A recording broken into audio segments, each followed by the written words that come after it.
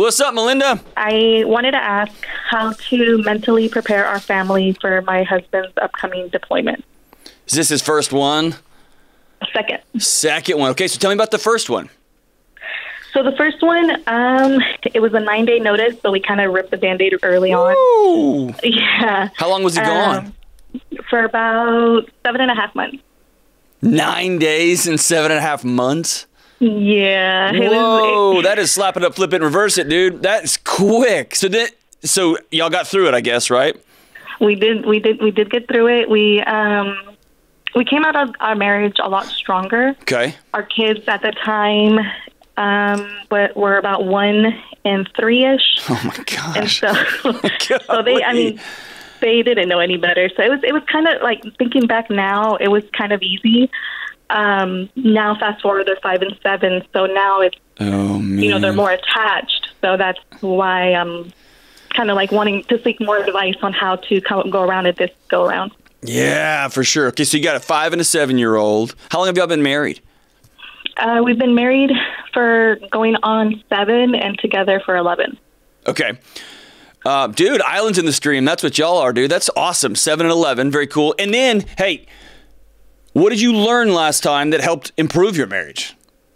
Communication is Ooh, really what does that key. What does that mean? Um, that means if I'm having a hard time, I kind of need him to be my ear, Okay. you know, through the good and the bad. Um, and on his side, he kind of like puts like I don't know. He there's a boundary. Like he can tell me about all the work stuff, but at the same time, I can't understand all that he's going through. Right. Yeah. And that that's one of the most common things I hear from couples, and especially from the person who's deployed, is how do I stay present in my relationship at home and not let them know what's actually going on here, and not let them know, hey, we were, you know, drove over an IED today, and not fill in the blank, right? And be fully present there. But all yeah, it just becomes really tricky. And how do you, as mom, get to have a bad day when you know he's over there doing God knows what, right? So it's that mess, man. So what are some tricks you guys learned to communicate better? Um, I guess just uh, making time, you know, when the kids are asleep or, you know, being on opposite schedules, making that time, whether it's super early for him or it's super late for me, like making time that we can actually, you know, just have a conversation, whether it's like just can just talk like we would regularly, but outside of all of the background, like our situation or whatnot. Ah, okay. Um, yeah, I, I think that would be So when did, when does he leave? uh, sometime this summer. Okay, so you got a few months to plan for this. Mm-hmm. Are you gonna have time to do a vacation together, or do something fun together, or is it gonna be work, work, work, and then we're out of here?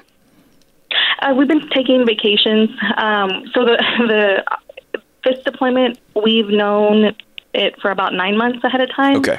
That's like good and bad. We're able to plan it better, but it's bad in the sense it's kind of like dragging and getting dreadful. Yeah, and it keeps going and going. So what do your kids think about this?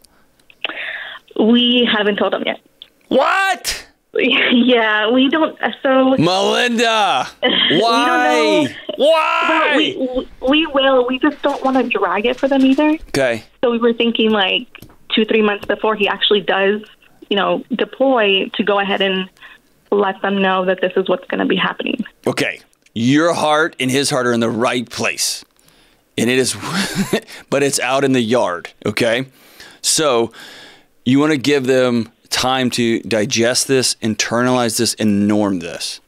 Okay. Okay. And there's several ways you guys can do this as a couple. Um, and there's some really cool ways y'all can do this as a couple. Here's the thing they're going to miss their dad. You're Right. going to miss their your husband. Y'all's family unit is going to have a big gaping hole in it, right? And the band-aid thing can kind of work for grown-ups because you guys have multiple frames of references. This is their world and giving them some heads up in ways that they can see and feel and understand really makes a difference. It turns it into a hard time. It, it, it switches it from it being a hard time to trauma. Okay Okay. dad disappearing after a nine day notice or a two week notice is a Like that's a an explosion in a child's mind. Dad going through some things and we know this is going to happen and here's the day and here's when this happens. That is something they can digest in little pieces. Okay. So here's a couple things that I would recommend y'all do that can be a lot of fun. It'll be hard, but it'll be a lot of fun. Okay. Okay. Um, first thing is is I would get on Amazon or I would have your husband check around base. There's going to be some children's literature about mom or dad deploying. And what we want to do is we want to not leave what deployment looks like to your kid's imagination. We want to paint that in as clear a picture as possible. Reading stories to kids where they see themselves, they see daddy, they see mommy, is a beautiful way to let the kids digest it in a way that they can, you know, through a cartoon, right? Um, so I'd get online and see if you can buy some books and then just make reading at night a part of your rhythm moving forward. Do y'all do that anyway? We do. Okay, awesome. So this is just some new literature you can you can introduce this weekend. You can get on Amazon today and order it, and they'll be here by the weekend, and you can start that. The second thing is is begin. Hopefully, this doesn't sound cheesy, but I want this to become part of your rhythm, so that when they go, it's a part of their rhythm. Begin a weekly. Hey, we're gonna make a thing for dad. You and the kids and have your husband do a weekly, I'm going to make something for the kids. And then y'all can exchange them in person. And I want you and him to do the best you can to make this really grand gestures. Wow, this is so awesome. Big hugs, big music swells, like the whole thing, right?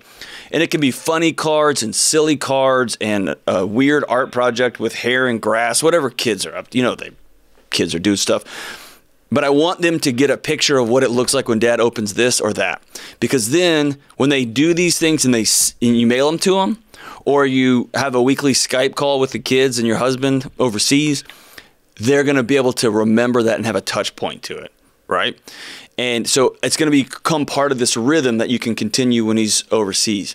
Another thing you may want to do is once a week have him call them on on FaceTime, on Skype they can get used to that conversation, that way of talking, and it can be silly and fun. They can come up with a game that they're going to do naturally. And then when he goes overseas and you do a weekly call with the kids and you get everybody on, then again, they they're able to have some touch point feelings. We remember that when dad was inside and he was in the garage and now he's overseas and this was pretty cool and it's not going to be easy and it's not going to be fun. And here's one last thing I would recommend see if your husband would be willing to do little bits of PT with them, little bits of training, little bits of, hey, we're going to dress up and so that they can have a mental picture of what's dad's day like when he's overseas. Is he jogging and working out? Is he having to do push ups and sit ups and the kids can climb all over him? Does he have to do jujitsu practice? Does he have to stand at attention really tall? Does he have to do some of those things? And again, all we're trying to do is to connect pictures to their reality, right?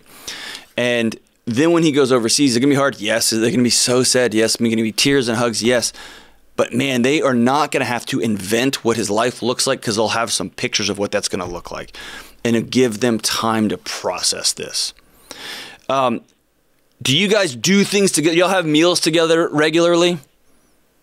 Uh, breakfast and dinner. We try to um, really have together as a family. I love, love that. So, uh, one thing that I would introduce, and you may already do this, do y'all do some sort of best and worst or the hardest laugh of the day or your favorite thing of the day? No, we don't. So, start that tonight. Hey, new okay. thing, kids. We're doing a new thing in our house. What's your B&Ws? What's the best thing? What's the worst thing that happened? What's the hardest thing? What's the funniest thing? and begin to introduce some of those things so that when you're having to text to your husband the next morning, if the kids have to go to bed and they don't get to see him or talk to him or text with him, you can say, "Hey, I got Dad's B&Ws from last night." Again, another touch point. So as you hear me saying that, does that sound doable, or are you still kind of freaked out that they're going to know so far in advance? That that kind of puts it in a different perspective. I, I know I love these ideas, especially the little PT training. I think the both kids would love love because they always want to go to work with him. Ah, uh, okay. And and so I think that one and the B&W, you know, it would it just would spark more conversation with, between us. So you are a mom that had to hold it together with a one and a three year old. I don't know how you did that. That's pretty impressive. and you said our marriage even your marriage even got better. Tell me what's going on in your heart and mind during this transition. Um, nervous, super super nervous. Um, I'm currently. I don't know. I'm getting emotional I just maybe thinking about it. You're getting emotional because um, your husband's about to go overseas. That's okay. um, I'm currently full time in nursing school as well. Okay. So I'll be in my last year, and so just trying to like balance it all, making sure the kids know I'm present. Yeah. Even though I'm, you know, my schedule's going to be crazy. Hmm. Um.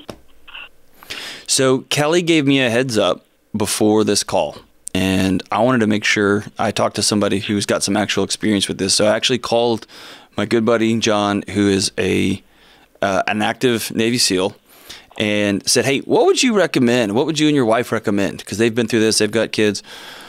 And the first thing he said, you know what he said was, make sure she has a gang, a group of people not even in the military. Sometimes that can be toxic, right? And where everyone just talks and it kind of gets gossipy. It may be, you may have a great circle of, of military wives but I want you to start cultivating people that will be in your corner on those hard days, on those exhausting days, when on final exam and midterm days, on rotation days, that they will be able to show up when you text them and say, "Hey, can somebody help with dinner?" And there will be no questions asked. They're just going to be your ride or die for the next year. And okay. if you take out a group of friends, you got a couple of friends like that now. Like just I do. Yeah, I knew you would. You sound awesome. if you have those folks and you take them out and say, "Hey, I'm starting to get a little bit whoo because my husband's going to leave again in a few months. I want to be able to count on you." And I'll pay for pizza and beer sometimes, but there's going to be nights I text you and call you and I want you guys I want you to have this conversation over a meal. I want them to feel special and I want you to let them know how important they are to you and make it a moment and let them know what they mean to you. And then say, There's to be nights and I'm to call you. Will you just go pick up some kind of garbage food for us to get us through the night? And they will be empowered and feel awesome and feel good. And it's going to give them some purpose, somebody to support and love and care on um, while you're going through what you're going through. And I know you did this last time. Don't forget to to stay in connection and communication with your husband. Always, always, I want to take a moment to honor the servicemen and women who go overseas. And I always want to take a moment and honor the servicemen and women, spouses, girlfriends, boyfriends who are staying at home, raising kids, trying to get through school, holding down life. Um, that is a tough, tough gig. Melinda, I'm so grateful for you. Thank you, thank you, thank you for your call. Thank you for your service. Let me know how those conversations go with your kids. Um, and let us know how that works out. It will be a blessing and a gift to other families in your same situation. So thanks for the call.